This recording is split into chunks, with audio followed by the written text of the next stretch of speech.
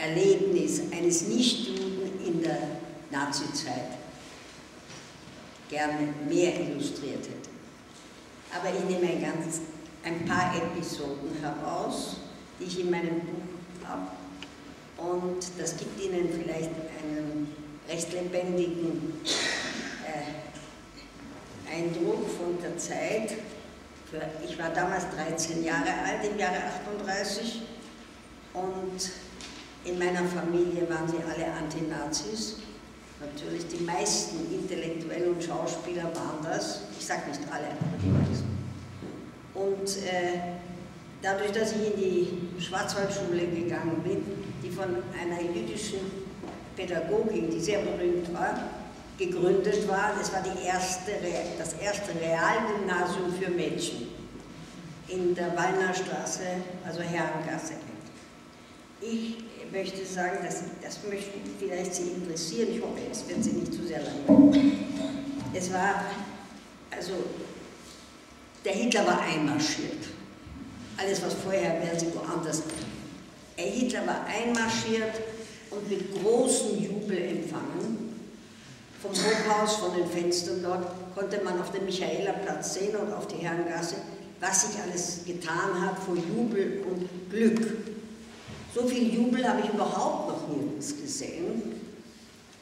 Und mit 13 Jahren habe ich einen Hass und eine Wut erfüllt und sagt, man muss doch was dagegen machen. Meine Mutter ist erschrocken hereingelaufen ins Zimmer und mich vom Fenster weggeholt. Bist du wahnsinnig, sagt sie, ich werde die d'Arc sein, ich werde kämpfen.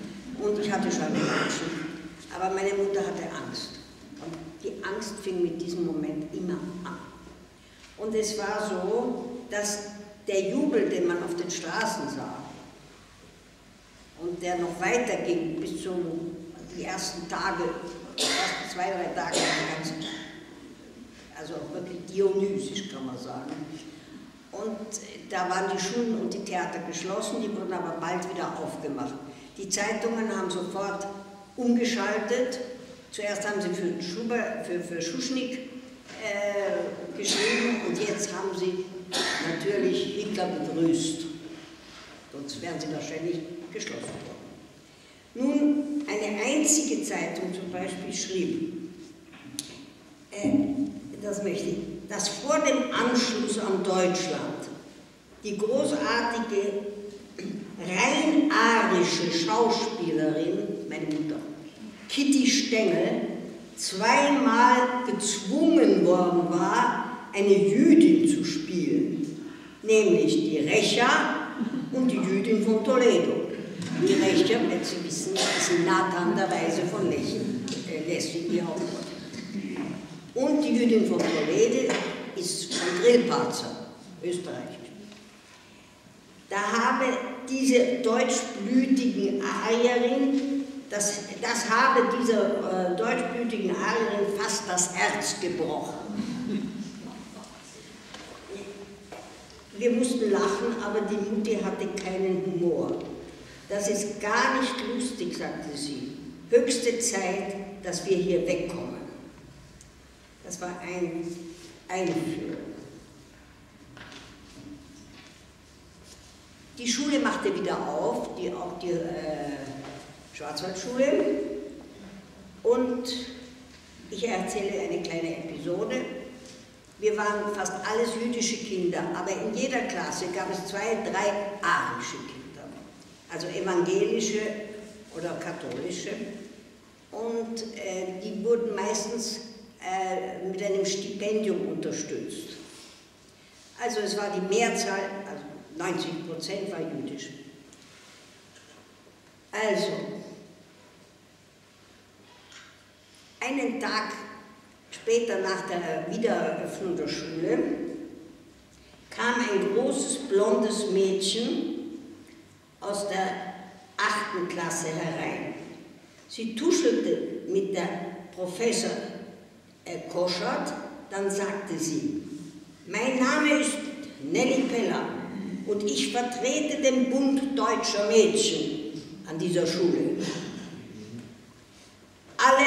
Arischen Kinder müssen sofort von den Jüdischen getrennt sitzen. Und zwar sofort, sage ich.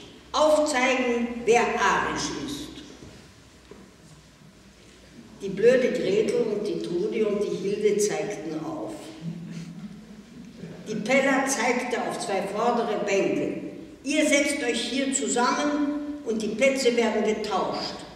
Die Kinder tauschten die Plätze. Diese Pella hatte ein großes Hakenkreuz aus Blech an ihrer weißen Bluse stecken. Von jetzt ab müssen sich alle arischen Kinder so ein Hakenkreuz anstecken, damit sie nicht verwechselt werden, sagte die Kuh.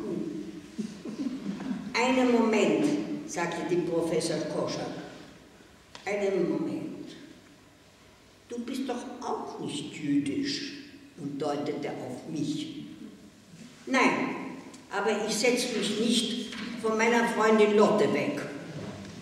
Und warum nicht? fragte die Pella. Ich bin mohammedanisch, Allah Die Pella starrte mich an. Die Kinder kicherten. Und da ging sie schnell hinaus.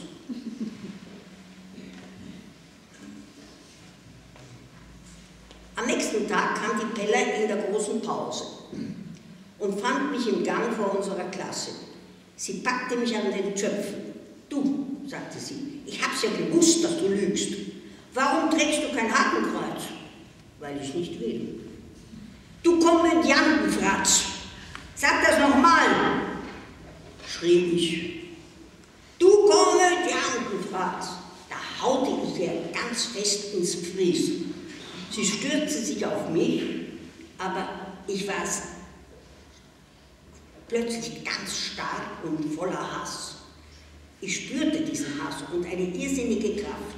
Ich packte sie am Hals und klemmte ihren scheiß Nazischädel zwischen zwei Garderobehaken. Ich bring dich um, schrie ich. Ich bring dich um.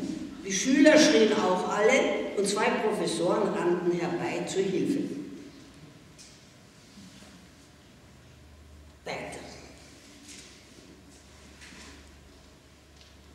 Es wurde, wir gingen natürlich nach Hause und es läutete das Telefon und die Direktion der Schule verlangte, dass ich sofort hinüberkomme.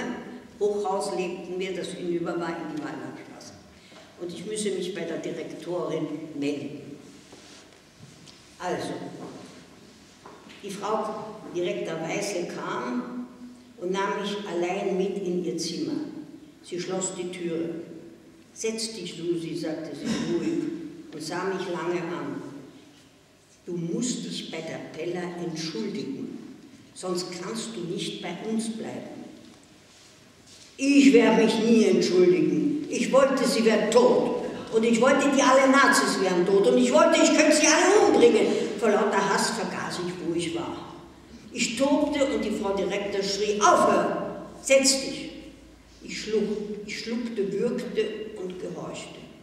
Sie kam zu mir und legte ihre Hand auf meinen Kopf. Dann sagte sie leise, und wenn ich dich jetzt bitte, einfach ganz ernstlich bitte, die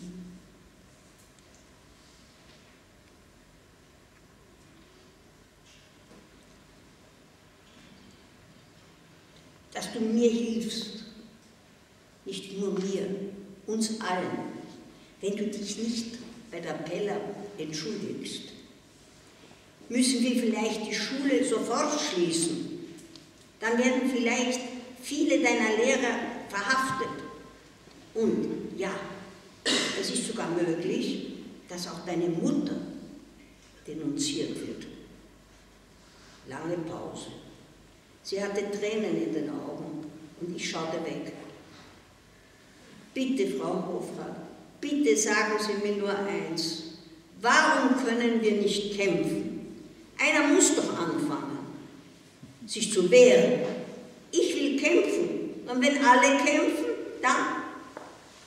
Welche alle? fragte die Weißel. Eine Handvoll Intellektueller und Künstler ein, ein paar Kommunisten, ein paar arme Sozialdemokraten ein paar echt gläubige Christen gegen Millionen von Fanatikern. Ach, Kind. Also gibt es überhaupt keine Hoffnung?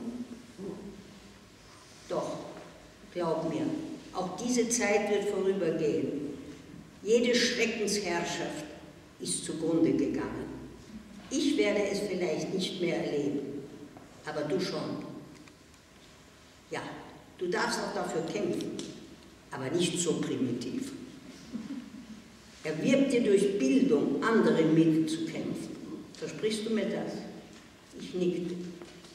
Jetzt lass die Pella holen. Es genügt, wenn du ihr die Hand gibst.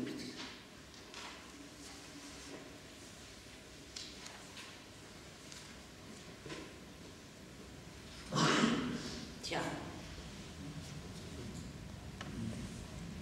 Jetzt kommt noch eine kleine Episode, da muss ich aufhören, weil wir noch ein großes Programm machen.